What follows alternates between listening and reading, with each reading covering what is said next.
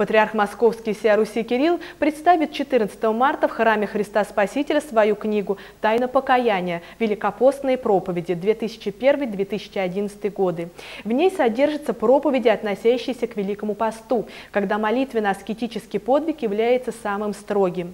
Основные темы книги – воздержание, покаяние, молитва и милосердие. Как пишет в предисловии предстоятель, Великий пост предназначен для того, чтобы человек, живущий в современном сложном мире повседневных дел, забот и обязанностей мог хотя бы на время приостановить свой жизненный бег, посмотреть на то, что с ним происходит, каково внутреннее состояние его души, идет ли он на небо или топчется на месте, а может быть и сползает в бездну тех или иных пороков, не имея сил вырваться из плена греховных привычек.